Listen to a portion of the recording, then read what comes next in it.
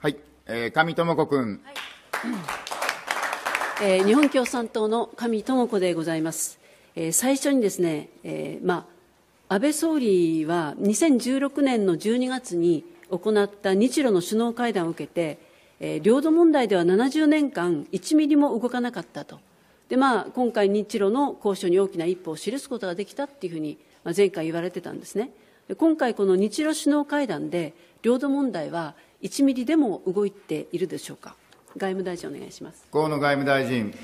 2016年12月の日露の首脳会合で、えー、プーチン大統領と安倍総理は、平和条約を解決する自らの真摯な決意を表明するとともに、北方四島において、双方の法的立場を害することのない形で、共同経済活動を実施するための交渉を開始しようということで合意をいたしました。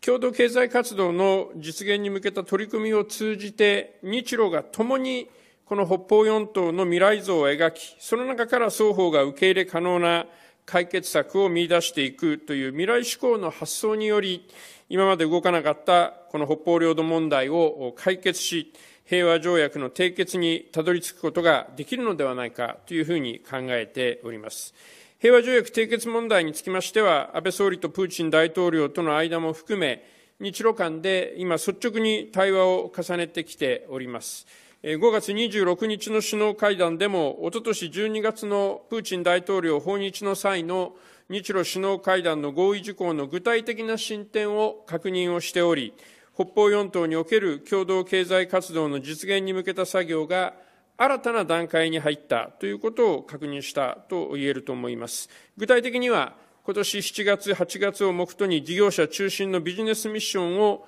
4島に派遣する。その後、日露時間級協議を開催するということで一致し、さらに5件のプロジェクト候補、海産物の共同増養殖プロジェクト、えー、温室野菜栽培プロジェクト、島の特性に応じたツアーの開発、風力発電の導入、そしてゴミの減用対策といった5つのプロジェクト候補の内容について、具体的な進展を確認をいたしました。政府としては、北方四島の帰属の問題を解決して、平和条約を締結するとの一貫した政府の方針に基づき、引き続きロシアとの間で粘り強く交渉を進めてまいりたいと思っております。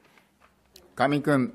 まあ、今、いろいろお話をいただいて、えー、共同経済活動、まあ、5件のプロジェクトっていう話もね、されて、私もあの説明を聞いてるんですけれども、やっぱり肝心のこの試験の扱いっていうことをめぐっては、これやっぱり法的枠組みをね、お互いに崩さない形でっていうこと自体が、どういう審議になってるのかっていうのは、なかなかあの、えー、事前にいろいろお話を聞いてるんですけれども、えー、はっきりしないなというふうに思っているわけです。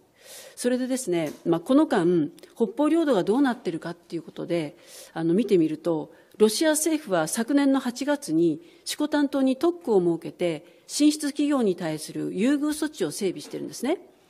で、アメリカ企業によるこのディーゼル発電所の建設が計画をされていたり、ロシア企業が水産加工場の建設を進めているってことが報道されて、まあ、エトロフ島と国後島にですね、ここにはあの最新鋭のミサイルシステムを導入すると。で、軍事演習も行っているということも言われているわけなんです。で、こういう実態については掴んでおられるんでしょうか？河野外務大臣。地対艦ミサイルの北方四島への配備と、北方四島におけるロシア軍の動向については、北方領土に関する我が国の立場と相入れず、日本国民の懸念を呼び起こすものであり、極めて遺憾でございます。これまでも類似抗議をしてきております。また、北方四島における先行発展領域の創設についても、情報収集と分析を進めつつ、ロシア側に対して、北方領土問題に関する日本の立場を伝えてきており、これは引き続き適切に対応していきたいというふうに考えております。こうした問題を根本的に解決するためには、北方領土問題、それ自体の解決が必要であり、政府といたしましては、粘り強くロシアと交渉し、4島の帰属の問題を解決して、平和条約を締結してまいりたいと考えております上君。まああのラブロフ外相はですね、ロシアには十分な経済特区があって、国の枠を超えた制度を作る必要はないっていうふうに言われてるんですね。でこういうスタンスでですね、ロシアの実効支配も進めているんじゃないのかと。まあ、企業の誘致もね、されているんじゃないかと。で、これに対して、まあ、今、抗議をしているっていう話なんですけども、日本政府としてですね、やっぱりどういうふうにね、これを、まあ、止めるなりですね、申し入れをしているのか、抗議をしているのかということなんですけど、そこをもう一度お願いいたします。関係お願いします。河野外務大臣。あのプーチン大統領と安倍総理の間で、えー、平和条約問題を解決する自らの真摯な決意というものが表明をされているわけでございます。あのそういう中で、えー、例えば今回の5月26日の首脳会談の中でも、少人数会合では4党における共同経済活動と元島民の方々の4党へのより自由な往来について議論が行われ、また両首脳のみの手立て会談では平和条約締結問題を中心に突っ込んだ議論が行われております。あの政府としてはえー、繰り返しになりますが、ロシアとの間で粘り強く交渉してまいりたいと思います上君あの元島民の皆さんはですね自分の土地がどうなっているのかさえわからないわけですよ。それで昨年の領土問題に関する参考人質疑があの参議院においてありましたけれども、千島歯舞居住者連盟の、えー、脇公夫さん理事長もですね、えー、経済活動だけがこう進んでいってですね、領土問題が置き去りにされるんじゃないかっていう懸念を示しています。この元島民の皆さんにどのように説明をしてですね、どう対応するのかということも簡潔に一言お願いします。河野外務大臣。あの領土問題が置き去りにされるという指摘は当たらないと思います。政府としては北方四島の帰属の問題を解決して、ロシアとの平和条約を締結するというのが基本方針でございます。また、あのプーチン大統領もかつて共同記者会見において最も重要なのは平和条約の締結であるという旨、また平和条約を後回しにすることはしない旨、はっきり述べておられます。共同経済活動の実現に向けた取り組みを通じて、日露が共にこの北方四島の未来像を描き、双方が受け入れ可能な解決策を見出していくという未来志向のアプローチをしっかりとやってまいりたいと思っております。上君。あの一貫してですねやっぱり元島民の皆さんはねそういう不安感を抱きながらやってますからそこはあのぜひですねしっかりとやっていただきたいと思います。それであの福井大臣にお聞きしますけれども元島民の方たちは、まあ、生まれ育ったふるさとを追われたままですねもうあの70年以上いまだにこの自由にふるさとに行き来できないと。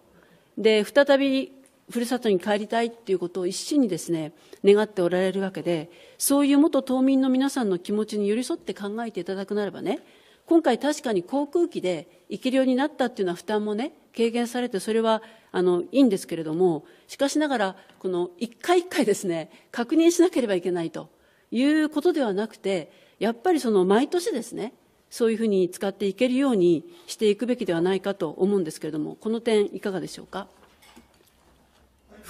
福井担当大臣。はい、先生、あの、脇さんの話も私、直接伺いました。あの、今、先生ご指摘のように、元島民の方々のお気持ちに寄り添いながらというところが一番大事だというご指摘、誠にその通りだと思います。えー、そして、えーえーまあ、あの一定のプログレスがあったと思います、元島民の方々のための人道的措置について、えー、航空機による特別墓参を天候が許せば、7月にも実施するということで、えー、一致をしたわけでございますので、えー、誠に大きい、そして具体的な成果だというふうに、私どもは捉えておりますし、島民の皆様にもそういうふうに捉えていただけるものというふうに信じております。まあ、あのその後のことについては、あの外交交渉で、えー、決めていただくということで期待をしております上君。あの昨年ビザなし交流、ビザなし交流の時に、瀬関と東仏とオホーツク海岸のですね、西キロっていう3か所が、結局、ロシア側からの立ち入り禁止で認められなかったんですね。四島交流や元島民によるこの墓参の際もですね、軍やあるいは国境警備隊の施設周辺に立ち入り制限区域があって、訪問団にロシア側の港湾関係者が随行するっていうことが常態化しているっていう話も聞いてるんですね。その点についてもですね、ロシア側に改善をね、強く求めていただきたいと思います。えー、それからですね、あの、軍事基地化の問題も重大だと思ってて、えー、ロシアは領土問題を基地化の口実にしようとしているというう思うんですね。3月の日露の外相会談でラブロフ外相は日本が秋田県と山口県に配備するとしているえー陸上配備型の、えー新型迎撃ミサイルシステム、イージス・アショアについて、米国の弾道ミサイル防衛システムの一部であり、ロシアの懸念材料だっていうふうに表明しているわけです。これ、領土交渉の大きな妨げになるんじゃないでしょうか、外務大臣。河野外務大臣。あの陸上配備型イージスシステムを含む我が国のミサイル防衛システムについては、我が国の国民の生命、財産を守るための純粋に防御的なシステムであるとともに、我が国が主体的に運用するものであり、ロシアを含めた周辺諸国に脅威を与えるものではないということは、類似、ロシア側に説明をしております。3月の外相会談におきましても、ラブロフ外相に対して同様の説明を行っておりますので、外務大臣はよくご理解をいただいているはずでございます。あのその上で申し上げれば、2016年12月の日露首脳会談で、両首脳は平和条約問題を解決する自らの真摯な決意を表明しており、こうした両首脳の合意に基づいて、平和条約締結問題について、今回の首脳会合もお含め、日露間で率直に対話をしているところでございますので、えーしっかりと粘り強く取り組んでまいりたいと思います。上君。あの本日ですね、えー防衛省の福田政務官が、えー県と秋田県とですね秋田市に説明に行ったっていうふうにこのイージス・アショはですね、えー報道されています。それで佐竹知事は、えー複数の候補地から調査を行った上で最適地を選ぶのが一般的だけれども配備を前提にした調査と受け取られるんじゃないかというふうに言われたようです。でイージス・アショアの配備先にありきっていうことじゃないのかと。で私あの実は1月にですね現地に行きましてそれで調査をしたんですけども候補地の秋田市の陸上自衛隊荒谷の演習場1キロ圏内にもう住宅地密集してますし学校もあると。住民の生活の場になってるわけですね。で住民からは地域にどんな影響が及ぶのか電磁波による人体の影響とか施設を作ることによって攻撃対象にならないかとか不安でいっぱいなんですよ。でそういうやっぱり配備についてはねやめてほしいっていう声が出されました。それで防衛大臣ですね、あのまあ今日説明に言ってられると思うんだけども、こういう住民に対してですね、その反対だっていう声が上がってるわけで、説明して反対されたらやめるんでしょうか？山本防衛副大臣。お答えを申し上げます。委員ご指摘のとおり、えー本日、えー福田防衛大臣政務官が秋田県にえー訪問をしまして、秋田県知事、秋田市長にお会いをし、イージス・アショアの配備の候補地としての今後の調査について、地元自治体のご理解とご協力を賜るべく、ご説明をさせていただいたというところでございます。その際に、秋田県知事および秋田市長からは、現時点での配備の必要性などに関するご質問、また住民の方々の不安を踏まえて丁寧な説明を行ってほしいというようなご要望があったと報告を受けております。今後とも今、委員ご指摘の点も踏まえて、レーダーの電波による影響、地元の皆様に影響が生じないよう、十分な調査を行い、必要に応じて対策を講じるとともに、地元の皆様から頂戴するさまざまな疑問や不安、それらに対して、一つ一つ丁寧に、しっかり説明をしてまいりたいと考えております。また、イージス・アショアの配備についてでございますが、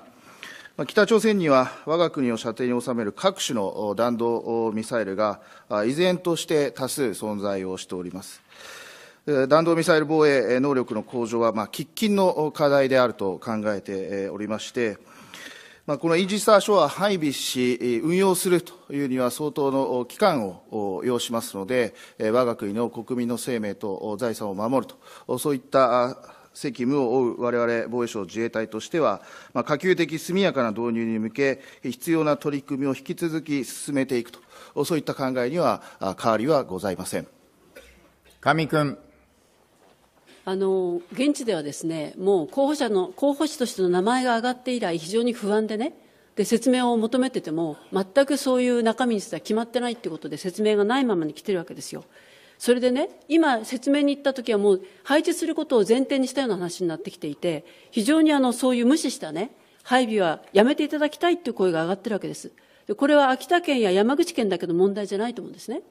あの、沖縄県ではですね、辺野古の新基地建設に反対するオール沖縄や県知事の切実な訴えも聞かずにですね、あの、基地づくりが強行されているわけで、同じようなことをね、絶対にやっぱりやるべきではないというふうに、もう一度お答えください。えー簡潔に答弁をお願いいたします。山本防衛副大臣。